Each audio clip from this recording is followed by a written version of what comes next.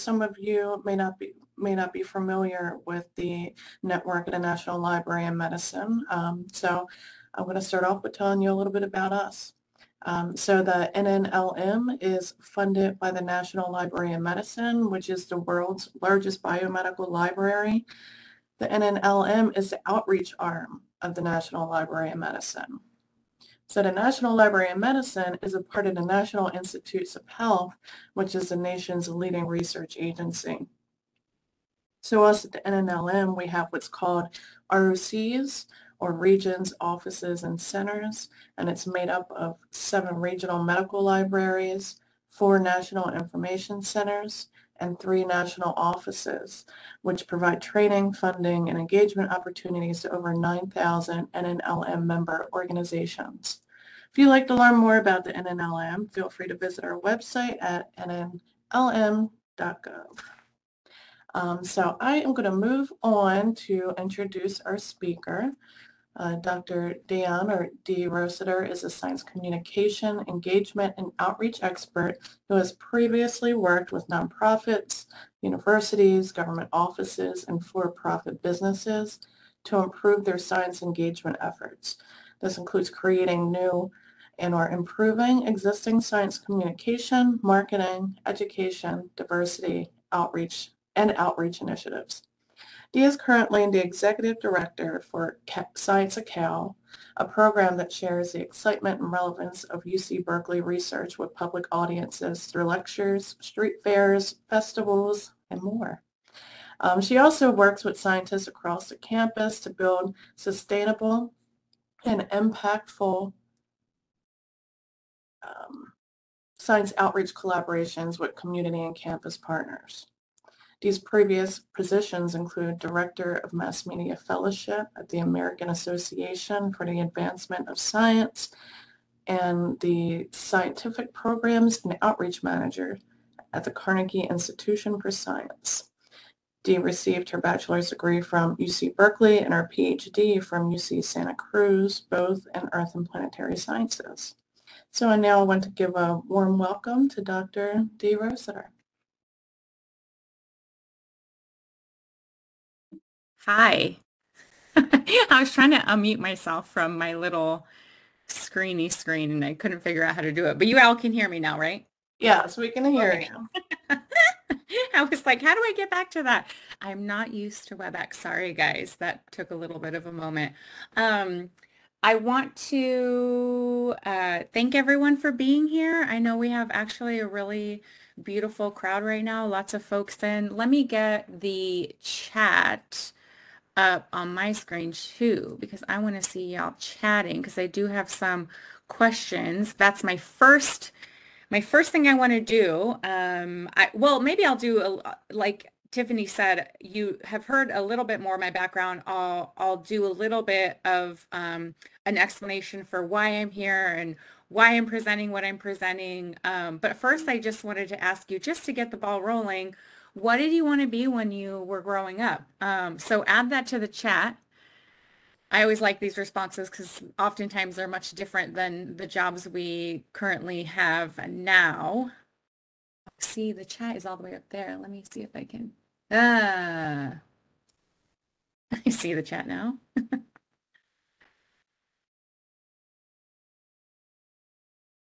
Can you guys see this Canva live session thing on the side of the screen? Yes. That's so weird. Let me get out of there. Hmm.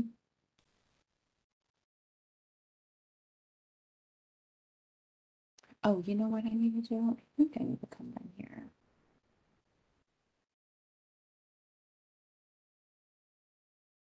There we go. It's gone now. Good. Okay. Now I gotta go find that chat button. Where did the chat go?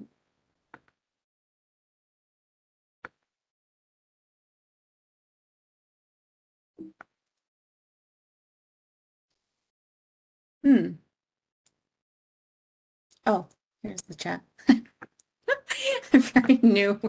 I'm so used to just Zoom. okay. A firefighter, an vet, and an opera singer. Oh, I love it. Does the person who wanted to be an opera singer still sing opera? A pilot, a marine biologist, a firefighter, a golfer. Anything with animals. That's probably was mine too.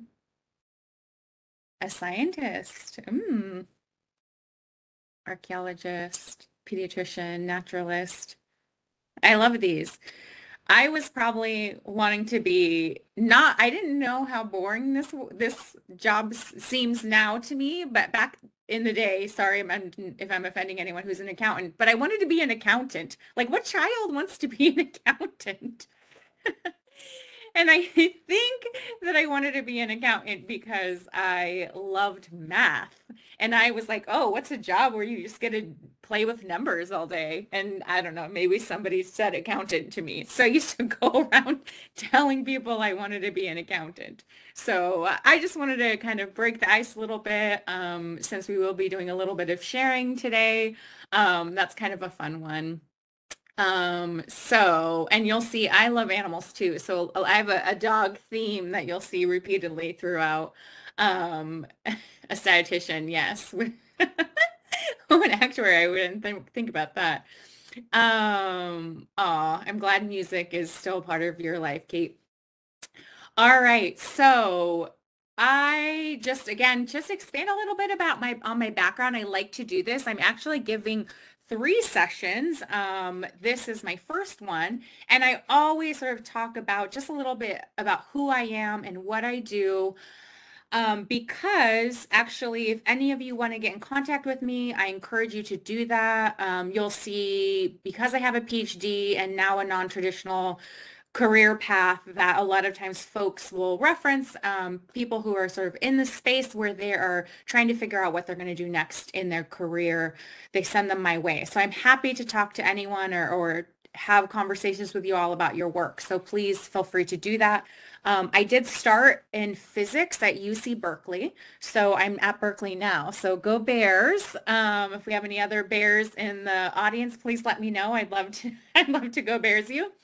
Um, and I actually was a little, you know, I, I wasn't having the best time in physics. I was the only woman, um, or sorry, I was the only person of color. There were two women in the major that year. Um, and I started doing atmospheric science. Um, I started working at the National Center for Atmospheric uh, Research and Science, and I fell in love with atmospheric science and the application of physics. And I bring that up because it was a minority serving program. And so I really felt like I became part of a community and I became part of a science community um, very quickly through that program.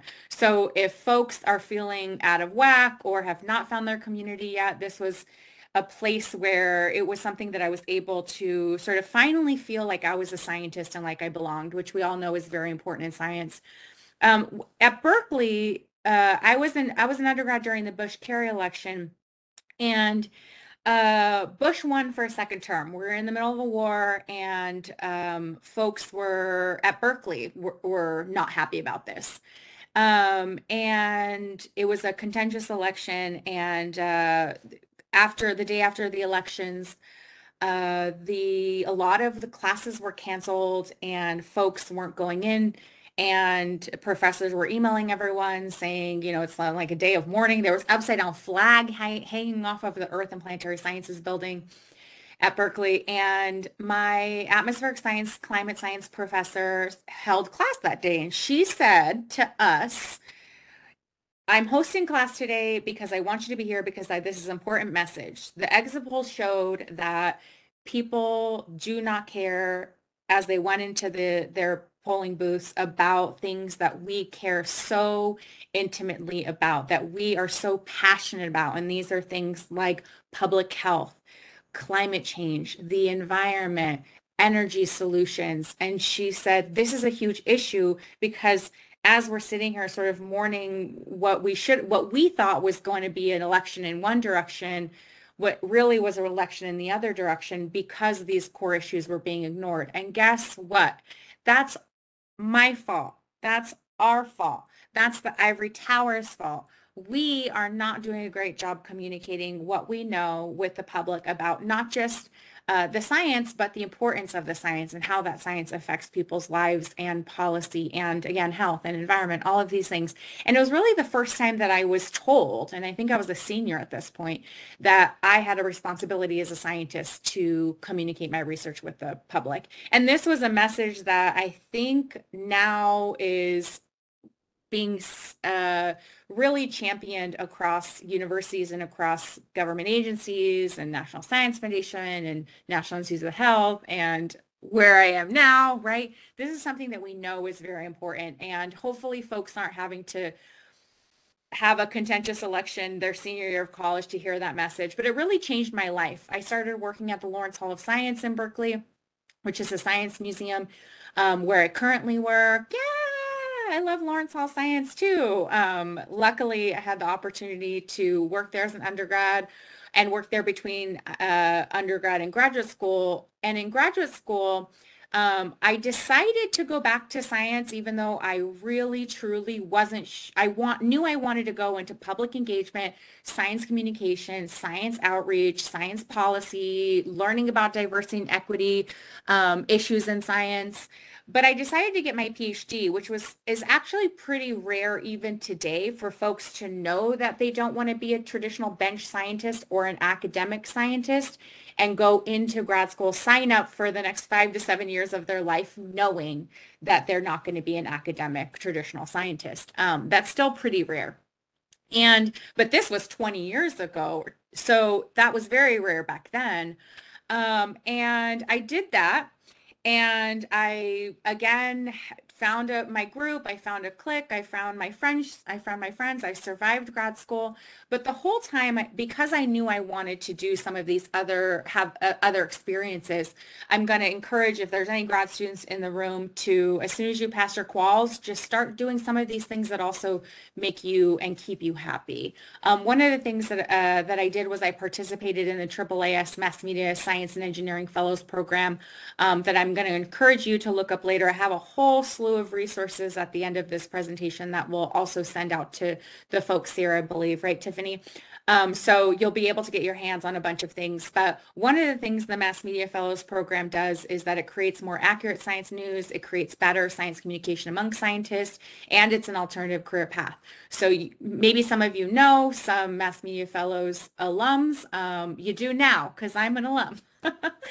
uh, the scientists are placed in news outlets across the country. When I was a fellow, these were some of these news sites, LA Times, Chicago Tribune, Philly Inquirer, NPR, Wired, National Geographic. Um, so it's a really great program to hone your science communication skills and think about your research in another lens and a lens that's really applicable to public audiences.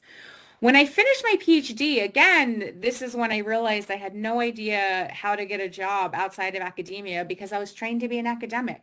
So now, like I said, I talk a lot about a careers away from the bench and alternative careers in science. And I, I think a lot about transferable skills and self-marketing.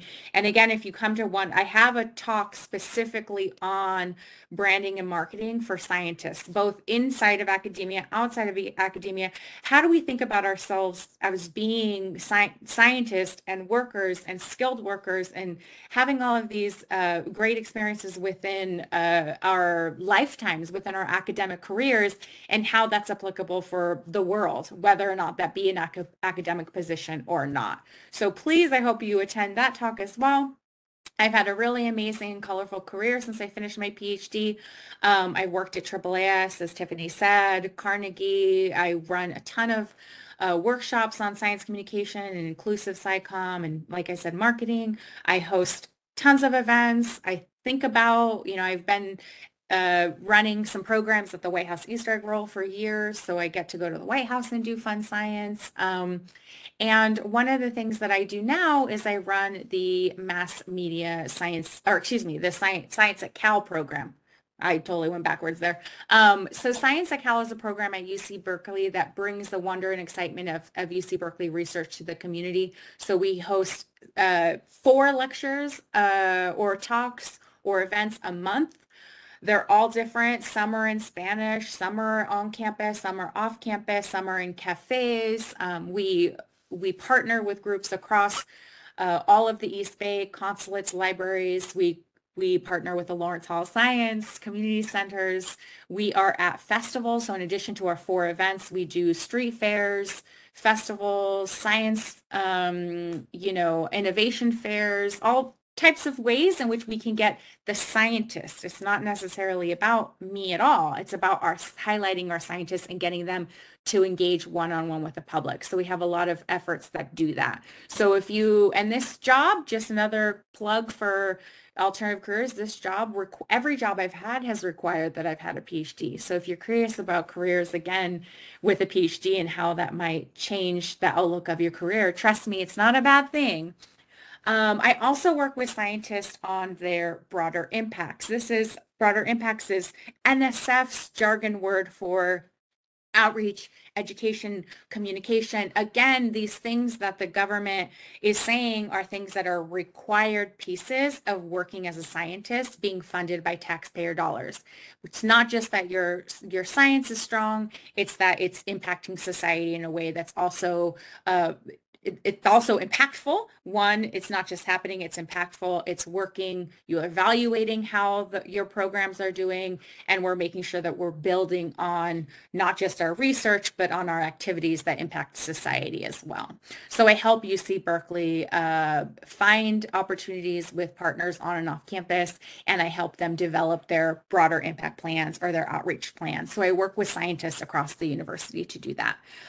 Um, okay, so now that we have a, a, little bit about my background and what I do and how I'm here to help you, um, we do want to dive into the art of SciComm because that's what we're here to talk about today. This is my favorite subject in the world. This makes my heart flutter and I'm so happy to be here. I'm so happy to be invited to be here again. Here's my email address if you want to tweet at me or go to my website um, or learn more about me we can do that. So what I'm going to start off with is we're just going to dive right in. And I want to ask you, you can either pull out a piece of paper. I like writing on paper. You could either open up a doc and start writing in a doc. But what I want you to do is I want you to eventually share this. So I'm going to add a link to the chat. Actually, I think I already have it linked here um, to a, a Google Doc where I'm going to give you, I'm going to time, I'm going to give you, how about three minutes? Because I want you to sort of think about a scientific topic. So it's what do you study? What some, if you're a scientist, what do you study? I think that that's a good place to start. Or what some information that you want to convey. So California is going through um, a process where we're about we're going uh, electric vehicle. Uh, all vehicles sold in California will be electric vehicle by the year 2025 or 2030. I can't remember the exact year off the top of my head right now. But anyways, it's a big deal. And also, we just went through a heat wave, and so the electric grid uh, was we had some rolling blackouts and there's a lot of fear around well like if we're going to go all electric then why don't why would we want to go to electric cars or why would we want to go on electric when our, we can't even handle our electric grid as it is? So i have been doing a lot of communicating in the last few weeks about our electric grid. So i'm a climate scientist. I would say even though i have lots of topics that i want to talk about that's the one that i would choose right now for me. So it can be something that you work on or something that you want to talk about with the public, um, anything like that. But I just want you to write down one to three sentences. Go hydrogen. Thanks. I want you to write down or write in a Google Doc one to three sentences. And then what I want you to do is I'm actually going to go in here. Sorry. And you are going to choose one of these sticky notes, move it over here. And I want you to not just tell me what you want to talk about, but give me one to three sec sentences. You can either, and there's sticky notes all over these. There's enough for everyone's here today. And I want you to have your own. You don't have to write your name. Um, you don't have to uh, say who you are. You can just go in and start typing on one of these sticky notes. And uh, I'm going to be quiet. I'm going to shut up for you and I'm going to give you three minutes to do that. And then I'll warn you for an extra minute to get it on the sticky note. You can, again, you can use a piece of paper or a Google Doc to, um, to talk about, uh, sorry about, I don't know how many screens you can see, but, um, to uh, write it in the sticky note. You'll have about a minute to write in the sticky note. So I'll set my timer. Again, one to three sentences. Can you guys hear that? one more minute. Let's go one more because that was my warning. So if you haven't started adding your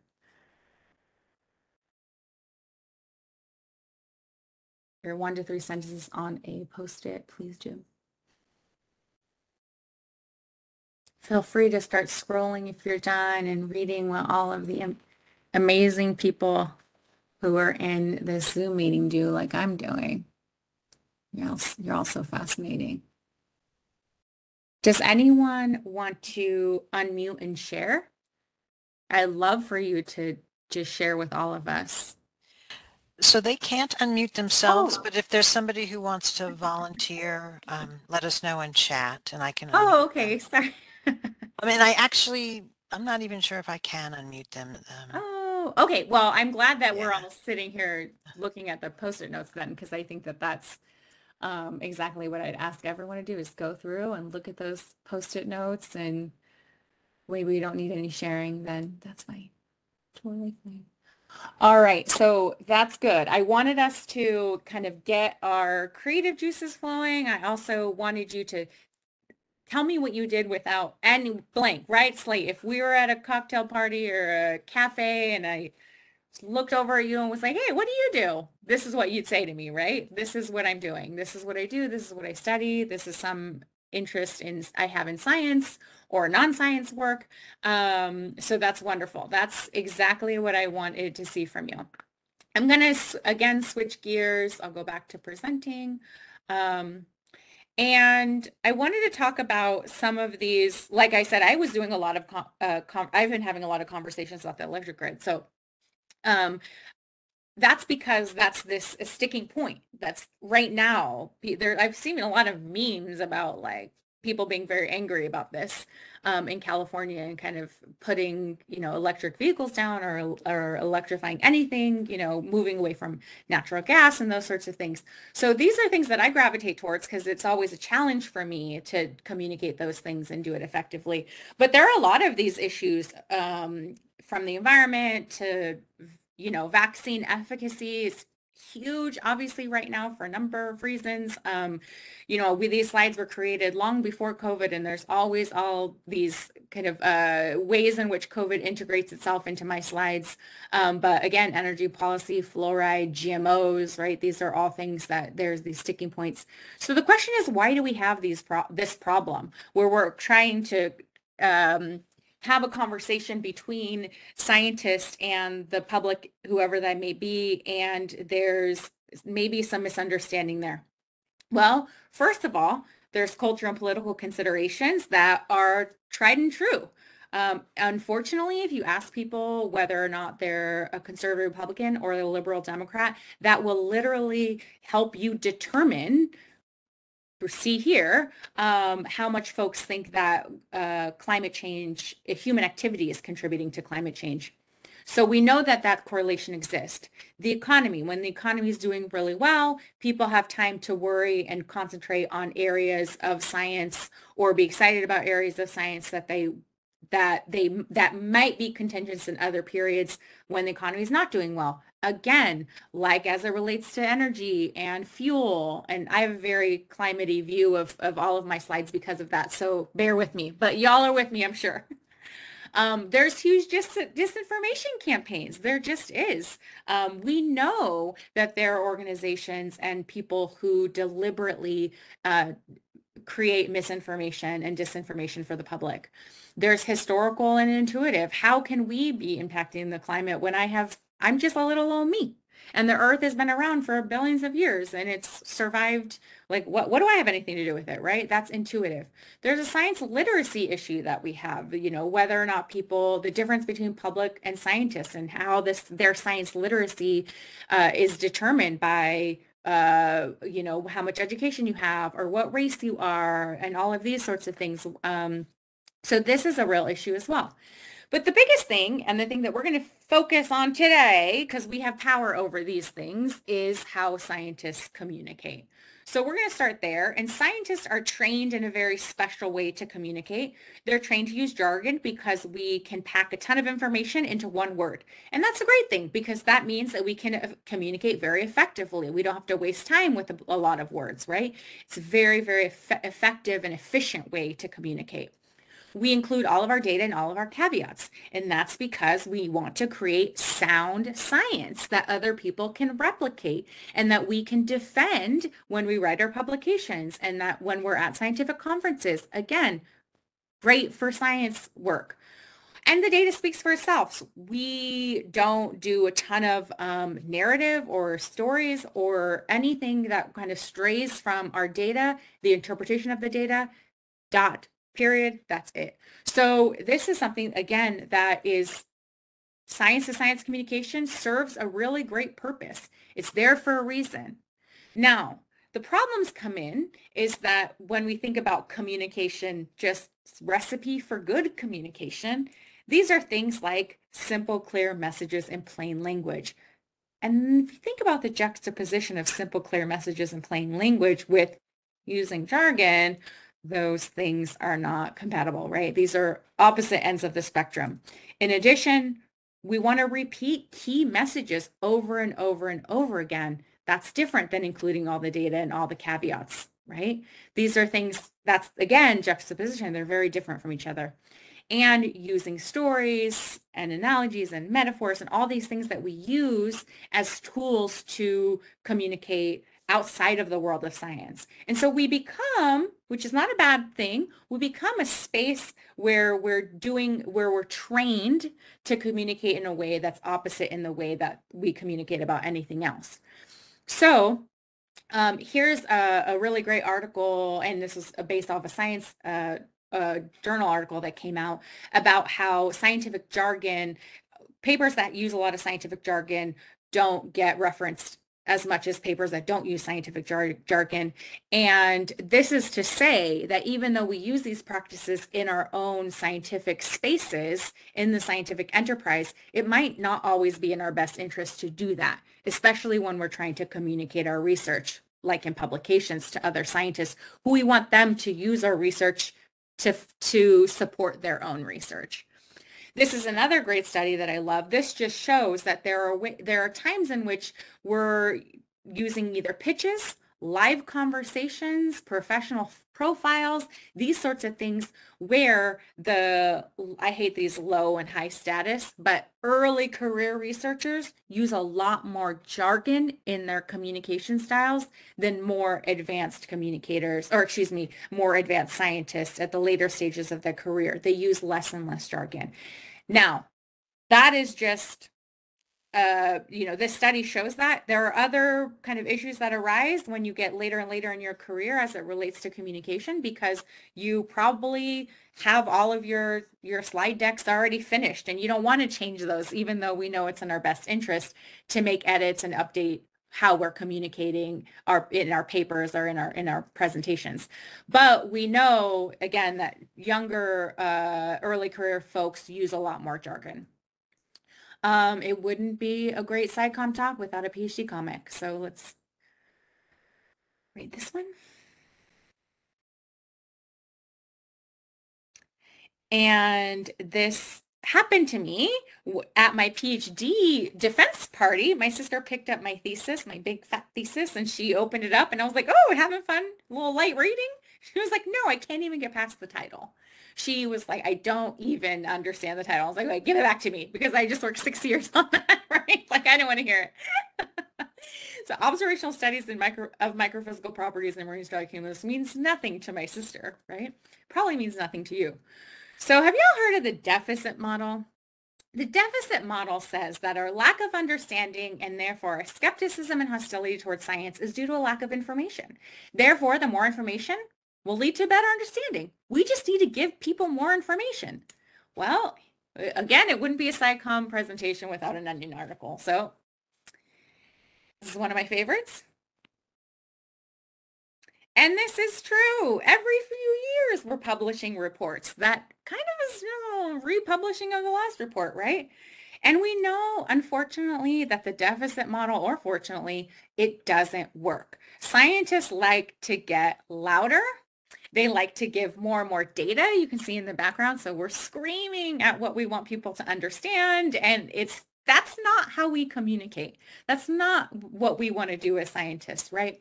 So I'm going to introduce something something called the triangle effective communication. And it has an asterisk there because this is not about SciComm. This is about communicating with our partners, our parents, our PIs, our colleagues, our friends. This could be communicating with any anybody. We want to think about these three points of the triangle. The narrative, the self and the audience. And so I'm going to start off by just talking about self. That is how to reflect on our own practices and our own who we are to be better communicators. And again, this is going to be across the board. So this is something you might want to practice with um, doing this exercise, not just in the science space, right? So the one way in which we fail to, how we miscommunicate, we're going to start with a little bit of our misses here, is we fail to craft our messages. So I had you craft a message right off the bat because I just wanted you to just, again, get the juices flowing. Let's start crafting, right? Just sit down and think about our words and what we want to say. We use jargon, right? In overdue detail, we mentioned that already. We focus on areas of debate. We focus on areas of missing context, and we don't lead with what we know. And sometimes when I say that, that really is, like, okay, what does that mean? I'll give you an example from a climate science perspective people often ask, is that hurricane or was that drought due to climate change? And what a climate scientist will say is they will say, well, the data, um, so there are these models and what we have to consider, and there's always an error of, you know, uh, or a, a function of error or uncertainty or, right? That's what we want to say because we can't definitively say yes, no. But what if I said this instead? The climate is warming, the earth is warming. That means the ocean and the atmosphere is getting hotter. If we add energy like heat to systems like ocean and atmosphere, we create stronger and more frequent storms. We know these things to be true. And 100 years ago, we predicted that the warming climate would lead to higher frequency and higher and more intense storms. And we've been seeing that. These are the things we know, and these are the things we see. And they are in correlation with one, one another, right? We know these things, and this is what's happening. We don't have to say, well, we're not really sure. Well, we really can't really say. But that's really oftentimes how the conversation goes. So these are things we don't want to do if we're talking about uh, contentious or areas in which there's friction between uh, the public and the scientific community. So we want to lead with what we know. We also want to anticipate misunderstandings. So as I become more, as I talk about climate change for the last 20 years, I know where people get kind of annoyed and like, well, I heard that it's, it's cooling in parts of Alaska, right? So then I know where those, that kind of where people are going to introduce a misunderstanding where I can kind of clear that up for them. And so the more you communicate, the better you'll be at anticipating misunderstandings, right? We want to focus, oftentimes we focus on the problem and not the solution. So we want, want to be more solution focused. I'll, I'll talk a little bit more about that later. So this isn't going to be instantaneous. It's going to take a ton of time. It's going to take a ton of practice. I uh, have a lot of experience, but I learn every day. I learn by reading articles. I'll give you a bunch of resources. I learn by um, talking with folks. I learn by interacting and engaging and constantly Science communication is a lifelong pursuit. We are never done learning. So how do we be better communicators? Well, one, we make our focus, we really think about who our audience is. And one of the things that when people talk about dumbing down science, it's like, nails on a chalkboard for me. Because dumbing down science is puts the onus of understanding on my audience then where I'm like, oh, I have to be more dumb for you. When in reality, we as scientists need to be smarter. We need to do a better job. We need to learn about the ticks, tips and tools of science communication. Again, understanding where the miscommunication or the misunderstanding is happening. And we want to tackle those problems. And we do that by being better communicators right? So we needed to do better. And we need to engage. We need to talk with folks and, uh, and, again, think about what are the issues that they care about? What are their perspectives? How can I be a little bit more mindful of those things? So our attitudes around science communication need to change. And I can remember the days of my undergrad when people would kind of like look down on people, on our scientists around us who were co- communicating with the public. And I'm hoping there's less and less of that. But here's the thing. If you don't want to communicate about your science, you don't have to, but we should still create a space where we understand the importance of communication. We don't put people down for doing it or for doing outreach work or for working in minority communities. These are things that we want to champion. So all of our attitudes around how we communicate has to be a little bit of a shift as we're moving through, um, again, the scientific enterprise, which it's doing, which is great. Um, again, there's been a really big shift to think about public understanding instead to think about public engagement. Again, it's not just about what the public knows, it's about how we're engaging with the public. It's about com- not about communicating to, it's about communicating with. It's not about having scientific institutions that are in their ivory towers and do their things. It's about having an interaction. We're part of the public, right? You heard this. Like, I know we're all, even I use that language, like the public and the science, and what we're a part of the public. And so how do we, as scientists, engage in all of the spaces around us and all of our, in all of our communities and sectors? Um, we uh, want, how do we connect on values? This is something, uh, the last piece about connecting on values is about trusting the messenger because as, in my next slide, being an effective communicator is not just about what's coming out of the communicator's mouth. It's not just about what I'm saying. It's about how you all perceive me. So you're perceiving me and you're deciding on whether or not you believe what I say. So this is why I start off talking about my background and who I am, because you can relate better to me as a person if you know who I am. People here have been to the Lawrence Hall Science and love the Lawrence Hall Science, so we have something in common there, right? And so again, your perceptions of me as a scientist or me as a communicator is going to affect how you hear what I say and how you interpret what I say. Here's a great article. Again, I'll give you some resources at the end of this um, conversation about our perceptions and attitudes. These things, what this group found is they're determined by how much folks respect the communicator and how much folks trust the communicator. So if we think about respect and trust, so first respect, guess what? People respect scientists. They consider us to have very high prestige. They, doctors, firefighters, scientists, nurses, engineers, they they do feel like they res- they do respect us. They feel like we are respected fields. Now, the question then is do they trust us? Because if they're if they're believing what we say, it's a factor of these two things combined. So we want to make sure that they can trust us. So who do people trust? Well, they trust people who are like them. Do we relate to the folks? Again, folks who are from the Bay Area. We can relate. I'm from the Bay Area too. Folks that are, I'm Latinx. If you're Latinx, you can relate to me in that way, right? These are reasons why our identities are very important to our communication which I want to note that you're best equipped to communicate to your friends and family. And I say this because if you want to get a message across about some of these more contentious or, or, these these scientific issues that have some friction between the scientists and the public this is a place where you should be communicating with your friends and families because they're going to trust you. Um, what about if somebody doesn't know if they could trust you? You're just somebody who they met off the street or at a bar or are walk, watching on a Zoom meeting and they don't do a big introduction, giving you all a bunch of different background that you can relate to. Well, what they do is they blindly determine whether or not you have competence and whether or not you're warm. So they actually feel and uh, get a sense for your competency and your warmth, right? Here's the other thing about, oh, so we determine, we already know, I'm going to skip over competency because we know just like respect. We know folks know that scientists are competent people most of the time, right? Hopefully.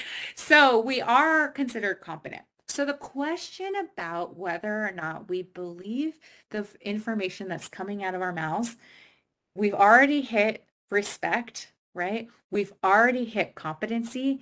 It comes down to warmth, whether or not we're friend, we're perceived as friend, or whether or not we're perceived as foe. And so they've done a study about different kinds of fields and where they fall on this warmth and competency scale. So we have warmth in our y-axis and uh, bloop, bloop, bloop, where am I? and competency on our x-axis. And we fall into this low warmth, high competency group with lawyers, CEOs who have been doing a lot of firing in the news lately, accountants. Oh my gosh, my, I just realized my, like, I would have fallen in here if I went down my career path anyways. Researchers, engineers, scientists. So what that means is that while we are considered competent, we're not considered warm. And there's a lot of implications for what this means. And you can read the study to understand the implications. But our view immediately, if we're putting our, our buckets of friend versus foe, be, again, it's it's it's really dependent on that warmth aspect. And I'm concentrating a lot on this because I think it's a message that needs to be very, very clear to scientists that we don't come off as warm people. We don't. And we really need to work hard on that. Again, it's not just about the information coming out of our mouths and how well it's and exciting it is and how accurate it is. It's about how warm we are. So I'm going to take a moment to kind of reflect about what we're trying to do here. As scientists, as a scientific community, we want to communicate with people around us. We want to show worthy intentions when we communicate science and we want to teachers and professors are more trusted than scientists so we might want to use that as a way to introduce ourselves if we are a teacher or professor. Um, on that plot they had a, a higher warmth category.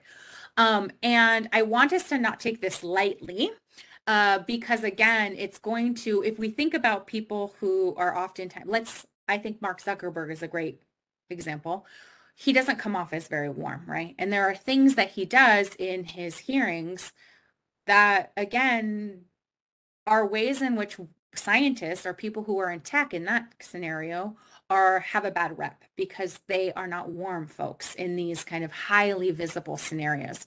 So where we're communicating either one-on-one or at a presentation or anything we're doing, again, we want to make sure we're always being warm. We're a combative bunch, right? We've all been in those conference proceedings where people are like, I don't believe you and your research is wrong and I don't know about that. You know, there's a lot of that going on in the research community. We want to tone that down a bit when we're talking with the scientists or with non-scientists, excuse me. All right, now that we've done a real, a, ref, a very, ref, a, lot, a big reflection on who we are as scientists, we're going to switch over to audience. So we know that the deficit model doesn't work. So what does work?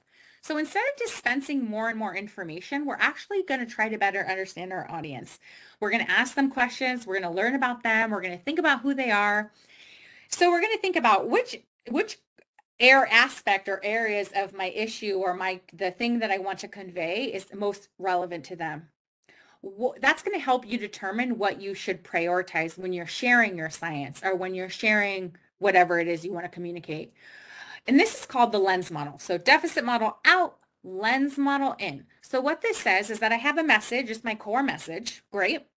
But I am going to actually frame my message based on who I'm communicating to. So that message is going to have to look different than that every message is going to be different, whether or not I'm a policymaker, a manager, an NGO, a scientist, right?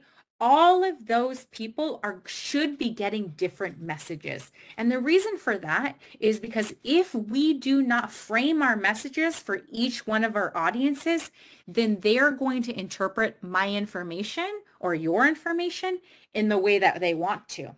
And that's what we want to avoid. We want to provide a message that's very clear and concise for that group so that they understand this is what's relevant to me and this is why I should care. But if they don't get a sense that there's anything's relevant to them, either they'll get the wrong message or they're inter- right they'll interpret it differently or they won't even listen because it's not relevant to them anyways so our audience we want our audience to take home the message that we want to convey so we actually have to formulate messages that are very special to each audience this is a message framing guide um, that's done very, very well um, by ecoAmerica. They've taken lots of times to think about all of these different groups and they've created core messaging around climate change for each one of these groups, which is pretty cool. Um, so take a look at that. I, again, I'll give you that resource also at the end of this talk. Um, here are some potential audiences that you might want to consider engaging with or you have already engaged with. And science enthusiasts, colleagues, reporters, policymakers, children. That's a fun group, right? Um, and when we consider each one of these audiences, we're going to want to consider all of these different things their age, their gender, their ethnicity, their culture, their needs, their interests, geographic location, right? Are they somebody or their level of understanding interest, their background? Um, do they have a personal professional goal? I always use, you know, are they uh, somebody who um, is unhoused in the Bay Area or are they a rural farmer in Iowa? I need to talk about climate change in a very different way to each one of these people, right? You need to talk about your science in a very different way to each one of these people. And how we do that is going to be thinking about all of these different things. And so again, we're going to want to have to consider all, it's a lot and it's going to take time, but we're going to do it. So we're going to do it now. We're going to go back into that slide deck and you're going to find your sticky note. You're going to copy and paste your sticky note right next to your old one and I want you to pick a audience, whatever audience you want, pick one. And I don't want you to say the public. I want you to pick a very specific demographic. And I want you to frame now a new message to that audience. So I'll give you another three minutes to do that. I'm going to set my timer. Let's go back into our sticky notes, copy and paste, and get to work. You got, and why don't you say who the audience is and then give us a little bit of a, of a new message considering who they are and what they might care about and what their background is and all those wonderful things. So I'm going to start the timer and I'll go back to that slide actually. I think that that would be great so we can consider, so you can see all the things you should be considering.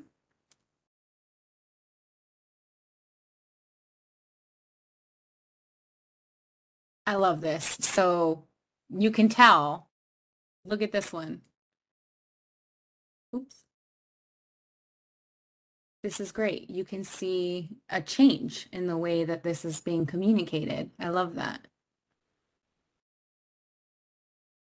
Oh, this is very cool because this is very nurses specifically. I love that. Good job, guys. Keep typing. All right, so move back to my presentation. This is, in my opinion, where things get fun. We're going to work on the narrative now, right? We're going to think about what's actually, what are we actually saying? Um, I like to go by the three M's. I've, if you haven't heard, this is miniature, memorable, and meaningful. Miniature. Organize your principles in one to three key points. I just did that, right? Miniature, memorable, and meaningful, one to three.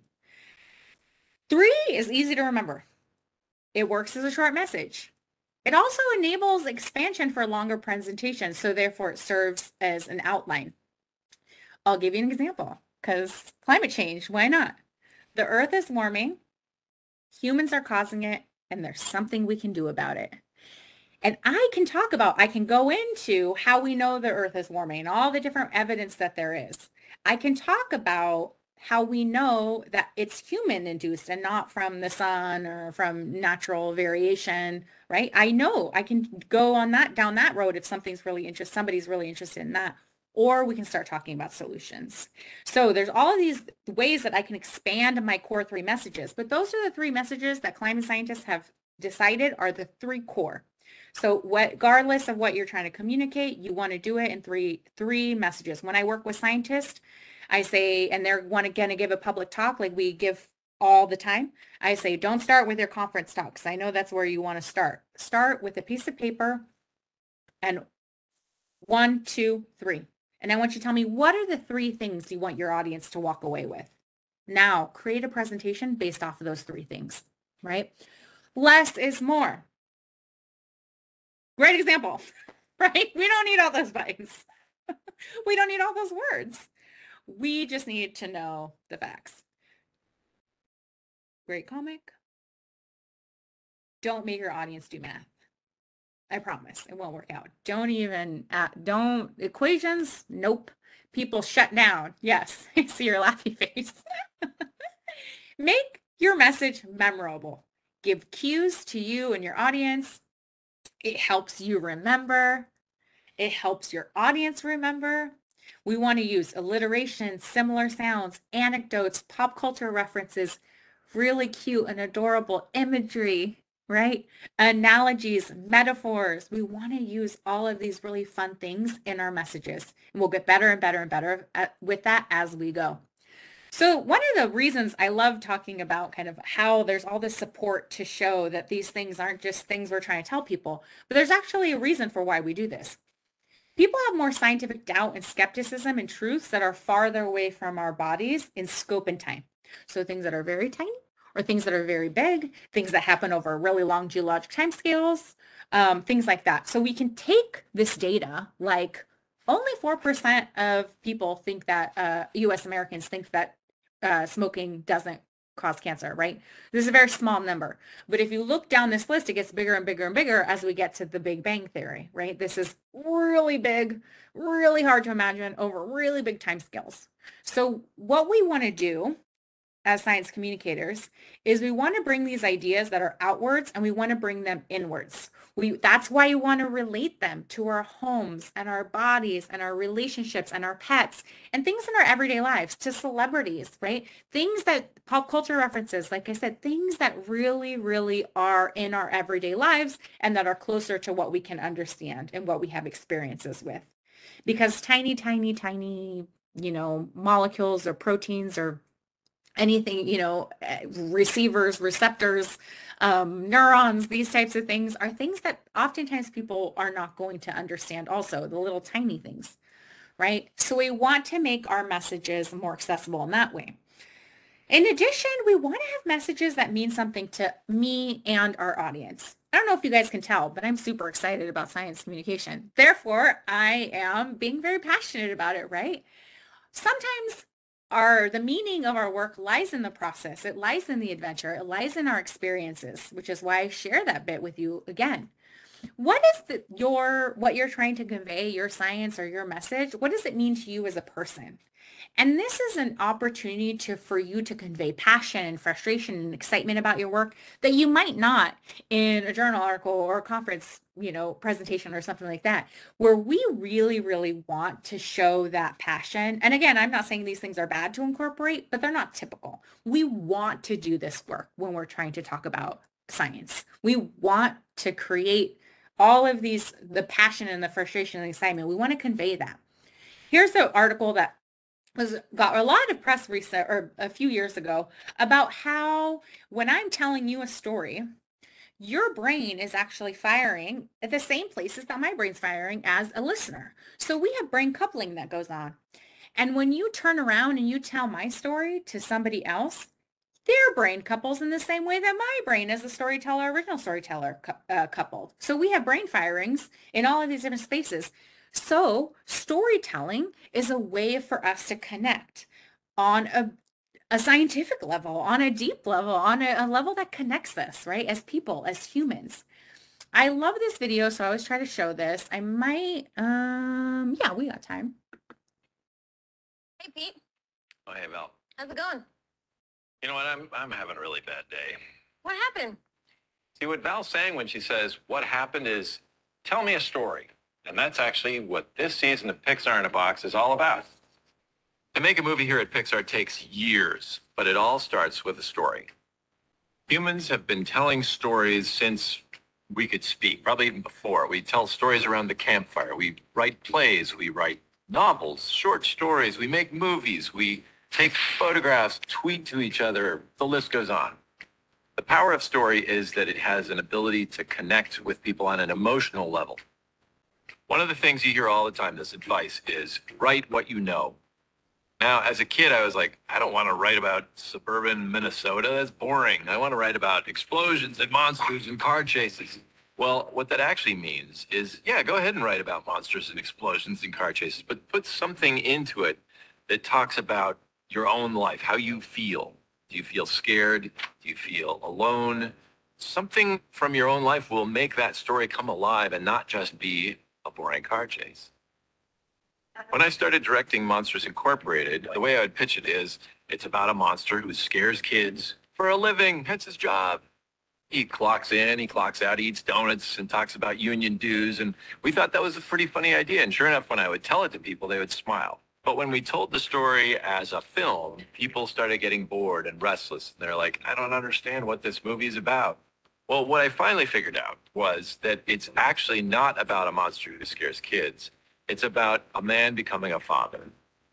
That was what was happening to me. So why write about what you know? Well, it's because probably what happened to you made you feel some particular way. And what you're trying to do really when you tell a story is to get the audience to have that same feeling. One of the big revelations for me uh, telling stories is how much work they are, really. I always thought you just tell the story once and it would be perfect. And geniuses like Walt Disney or Miyazaki, this brilliance comes out of their head once and there it is.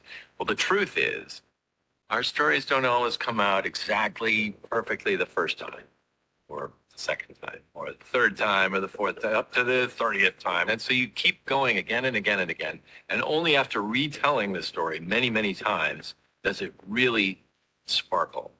This season of Pixar in a Box is about how we at Pixar tell our stories in hopes that it will inspire you to tell yours.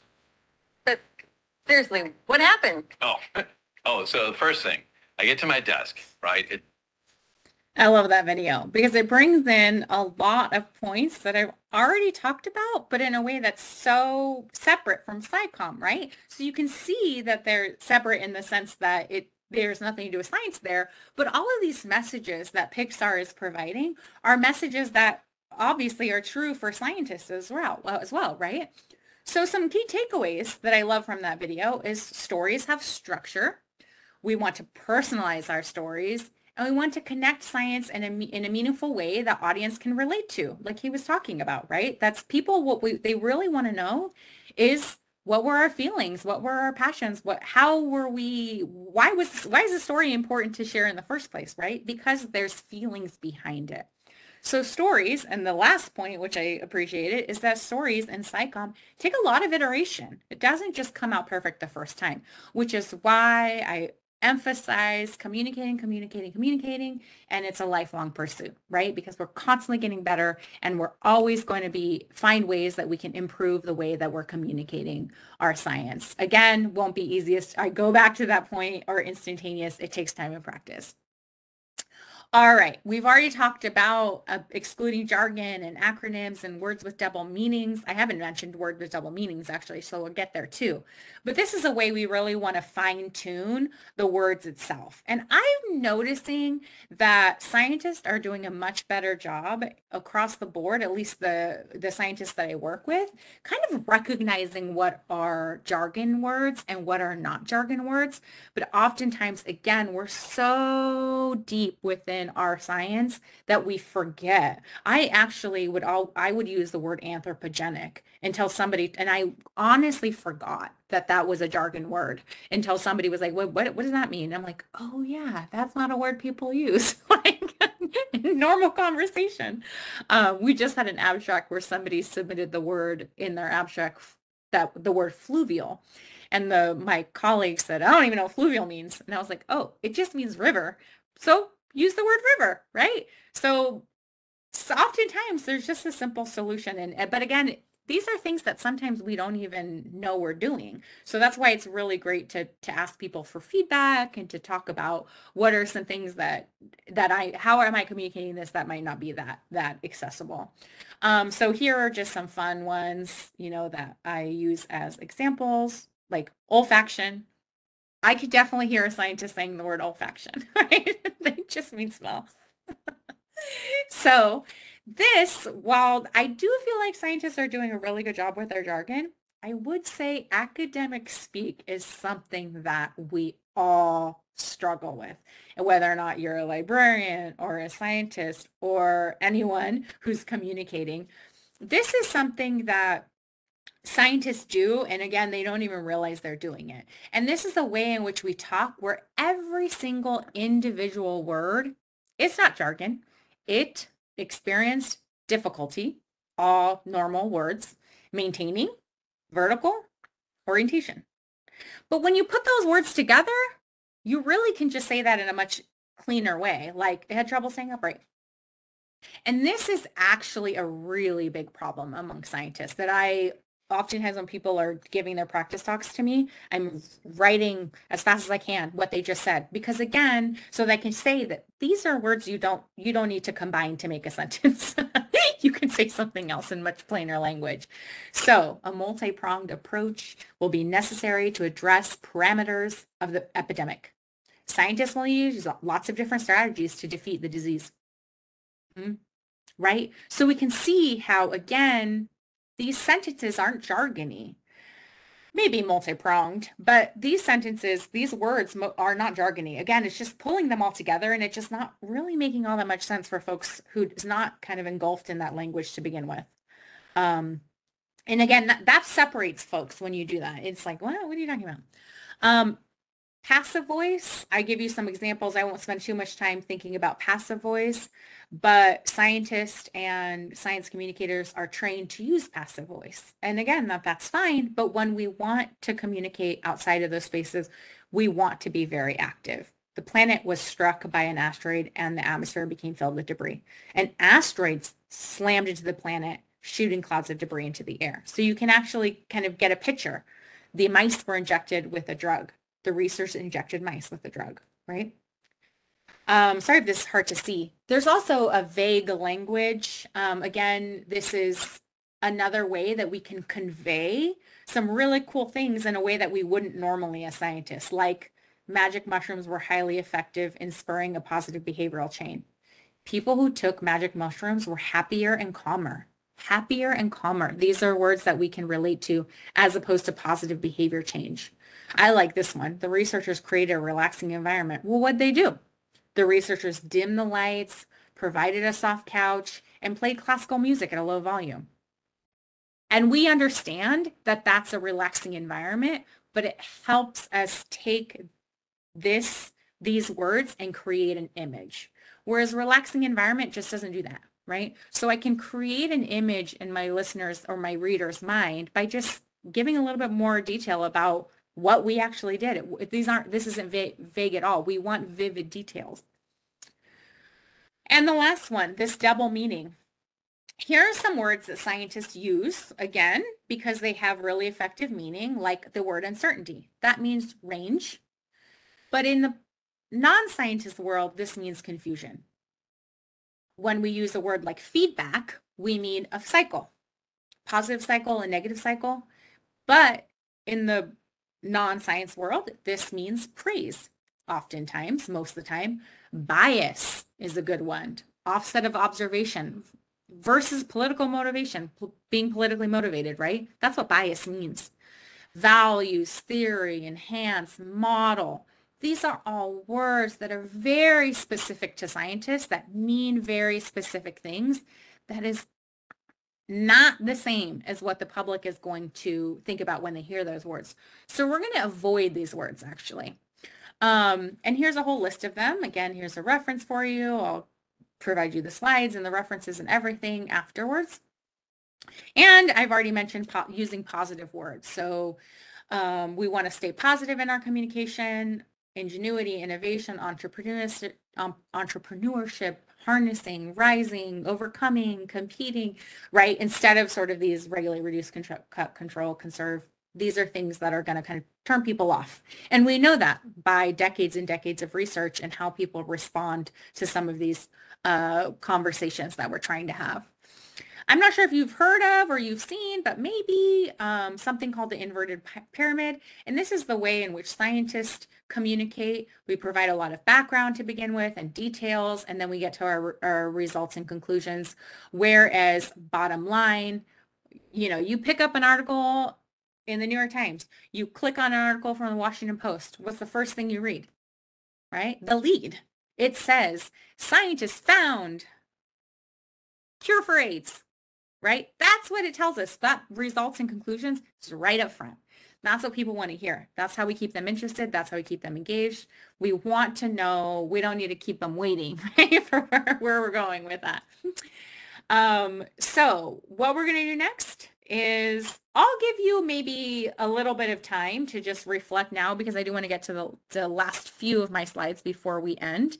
Um, on I want you to think now we're still considering an audience, but we want to add an analogy, a metaphor, a story, a pop culture reference. We want to look, want to take a deeper look at what we wrote in our in our sticky notes. Did we have jargon? I saw a few jargon words in there. Um, is there academic speak and is there vague language?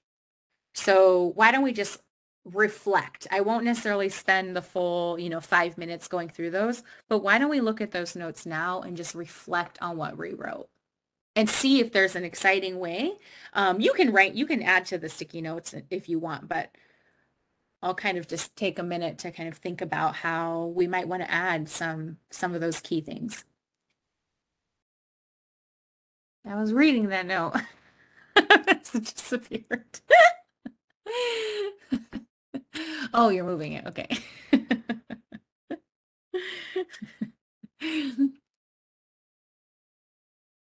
All right, just I again, I just wanted to sort of not maybe spend too much time on this because this is like I said, this is where things get fun. So you might want to take time. Maybe you have an ideas in your head. Um, maybe there's ways in which that you know you you want to think more critically about this um, later on. But I think that again, this is where this is where I feel like things can get really interesting and really fun when we when we have when we want to communicate something. And after these conversations and workshops I've had, I actually have had people contact me and be like, "Can I practice something out with you?" And I'll work through it with you. I'm happy to do that. All right, so communication opportunities. So there's sort of the traditional route, meaning promoting your science through a communication office um, or pitching a story to a news site. So in some uh, universities, you might want to go to your university press office before you pitch a story, but you can do that. Um, you can, so these are more, again, traditional media, ways in which we uh, create traditional media. If you're going to talk to reporters, these are just, there's entire workshops on talking with reporters. So talk about, uh, this is a general SciComm. I'm hitting everything a little bit. You can go talk to your comms office at your university or at your um, research organization, and they might already have something prepared to share with you. So be prepared. Simplify your message. Again, the no jargon piece is going to be key. Practice sound bites because whether or not you're a radio article or a print article or a virtual article, electronic article, they're going to quote you. And so you want to practice some good quotes. They're not happenstance, right? People actually come in prepared with like really cool things to say because they know that you, again, you don't want your listener to interpret your information. You want to do all the cool stuff for you. Um, and we want at the end, this is a point I've asked, uh, I've added because a lot of times people will be, will say that the journalist misrepresented them in their article. And what I would do is if you're a scientist who's talking to a reporter, I would ask at the end of your interview, ask that reporter to summarize your research or what you just said to make sure that they got it right because I guarantee they might say something you'll be like, well, okay, so what you just said, like that's true, but let's get down to business about how what I, what I really wanted to say or how to make that a little bit more clear so that they are not creating, they're not misrepresenting you in their journal in their um, excuse me their popular you know in their media releases and things like that um, so these are non-traditional sources so we'll press release op-ed personal websites i go to sci- like scientist research at uc berkeley i don't understand anything on their website so who's the website for, right? For me? Because I don't understand a lick and I'm a scientist. So this is something that we want to stay conscious of, right? If it's not for me at all, it's just for, well, here's the thing. Most of the time, those research pages are for incoming graduate students, right? Or for undergrads who might want to work in the lab. And I guarantee a lot of the language on those websites is not accessible. Um, blogs, maybe you want to edit some Wikipedia articles using social medias, um, mobile apps and games. This is really exciting to do, right? These are ways that we can engage. All those communication strategies apply. This is what media landscape used to look like. It is evolving. It will continue to evolve. All of our communication strategies apply. Hands-on exhibits. These are more opportunities, nerd nights, cafes, mentoring, local schoolwork, infographics, lab zines, lab visits, museums, public lectures, policy, over the fence neighbor talking, citizen science, all strategies apply. These are my tips for public talks because I do this so often. Again, break your science, science up into three parts. Tell us why we should care. Use anecdotes, especially from the lab or from the field. Show us pictures. It's been shown that women are more connected to uh, scientists' work if they can see photos of them in the field and in the lab. Women over men. So we want, of course, we want to get women as excited about science as we do everyone else. So we want to add photos of people in the field. Use props, use multimedia. Again, don't use equations at all. If you're presenting data, great. We want a data literate society. I'm all about data. But guess what? You better keep it simple and you better be prepared to walk us through a plot or the data every detail. What is the x-axis? What is the y-axis? What is the one line? Don't add multiple lines. What is the one line or what is the one data point that you're that's moving that you're showing? And in the end, what does it mean? Why do I care? Summarize why I'm even showing you that plot in the first place, right? X, Y axis. Walk us through it all. Record yourself. Watch for academic speak write out what you want to say. I think writing it out is actually really helpful if you're giving a public talk. Practice in front of others. And finally, of course, have fun. I love this path to engagement. If you go to this AGU Sharing Science site, you can click if you're like, oh, do I want to engage? Do I not want to engage? Who do I want to engage with? Engage with? How do I want to do it? And if you hover over each one of these little boxes, it'll give you a set of resources to do that work. How cool is that? So I'll share that with you at the end so that you can actually get resources from this website about how to do all of this, these different things. How do you write a blog post? How do you tell a story? What, what's your, what are some tips for joining your PTA? Um, here are my resources. We got newsletters, workshops. We got websites, website resources, more, everything you could ever imagine in here. And also I'm going to tell you to go to your subject specific society I guarantee they have some resources. If you're a physicist, if you're a librarian, if you're uh, who's it, what's it, you have a society, they want you to be communicating and they're going to help you do that. I guarantee it. Opportunities, list out some opportunities for you. And of course, I do not want to ignore, I have a whole presentation on inclusive SciComm. Join me next time or the next time, I can't remember what month it is, but I will be giving the entire presentation on inclusive SciComm. But here are some inclusive SciComm uh, resources for you. And that's it. We have some time, a few minutes for questions. I know there's already questions in the audience, so I'm happy to read those and take those over. I don't know if, if Tiffany, if you want to help me navigate that or if I should just start scrolling. Oh, I have one question. Sure. Um, well, there was actually two. Uh, you saw the one from Rachel though about the librarians and the oh. circles, and you felt we were warm. yeah, yeah, definitely. and I believe I, I, I recently, within the last year or two, I remember reading some research in reference to that too, and we are considered like a, a person that the general public can trust, like a teacher or somebody like that. So. I like very warm in my in my opinion. yes. So and yes, we are trusted folks out there in the community. good. And go, I'll, again, I'll send out the resource. That article is, is very interesting. And again, it, it, it talks a lot more about what this means. What are the implications? Um, and what do people who perceive those folks in those career spaces, um, well, how do they actually feel when they're inter- interacting with those people?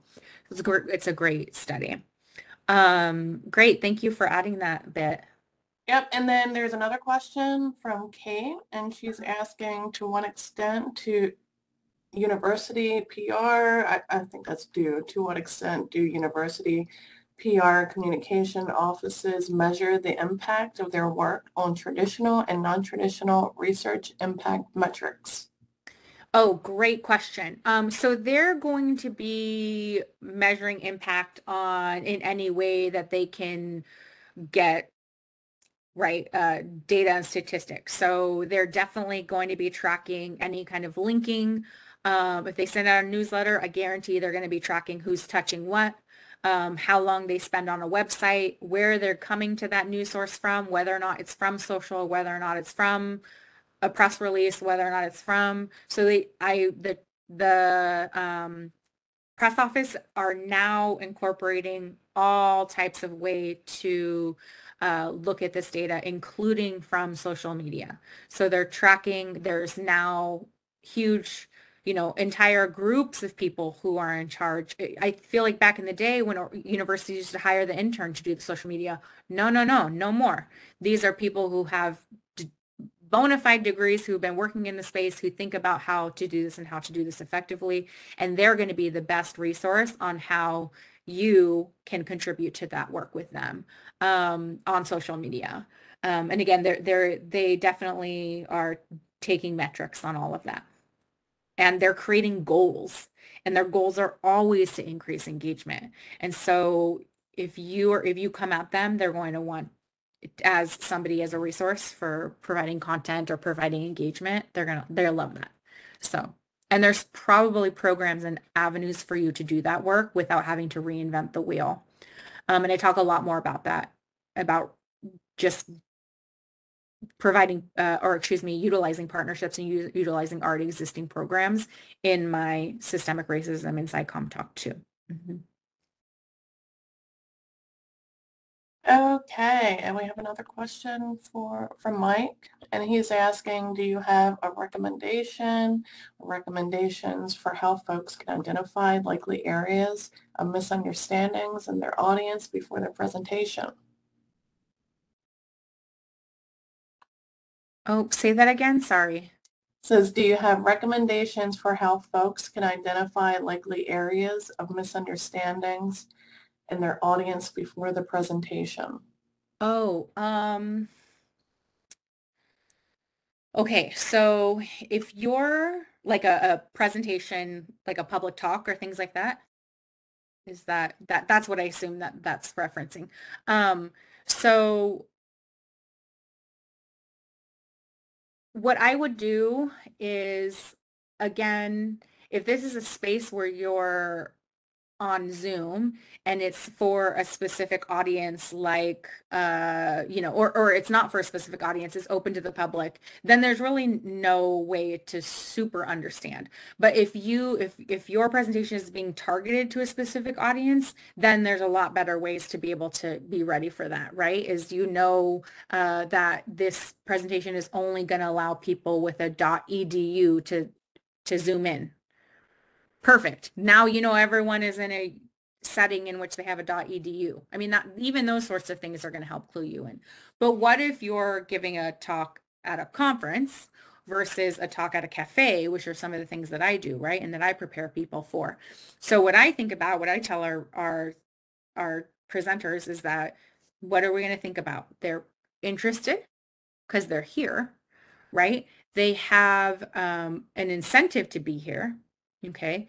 And they all live likely in the East Bay because they're present.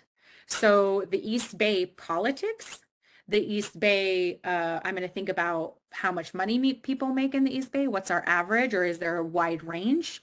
So I'm going to think about how they fall on that spectrum. I'm going to think about what are some past you know, what is the past voting, you know, some voting measure, how did that go? I can look at all of these different things to try to think about how my audience might misinterpret. For example, Bay Area and, and or the East Bay, Berkeley in general is very, very, very like anti-GMO. Whereas the scientific community is like, I mean, we have buttons that say, I love GMOs. So how do we deal with that? In the Bay That's something that I know is an issue in the Bay Area, right? Or in, in the Berkeley community. So anyways, there, there are things that you can kind of think about as it relates to, again, whether or not you're in person, whether or not you're on Zoom, whether or not they're showing up, they're interested, right? or let's say our scientists will go to festivals uh, and, and, some, they're not science festivals, these are street fairs. So these are just people off the street, which is great because it means it's not people, you're going to where they are. That's something I tell scientists to do all the time. Show up in their communities, show up in their spaces. Don't make them come to a university, right? They're not going to get there. You want to show up where people are because then you're, you're, it's default that you're in their face. It's not that they've clicked a link or clicked an article. They've chosen to go there. Um, so I'm advocating for being in public spaces. Um, but also then that's where they're not interested. They're, they're just there. And so in that way, again, it's going to be a little bit harder, but you can, as long as you kind of uh, about that understanding those mis- uh, preparing for those misinterpretations or miscommunication or misinformation all of that the, again the more and more and more you communicate with your community the more and more and more and more you're going to get a broad breadth of ways in which people uh, essentially have those those points where where there's a disconnect. You're going to get much better and better at at knowing where those are and how to prepare for those um, definitely. Mm-hmm. Thanks for watching. This video was produced by the network of the National Library of Medicine.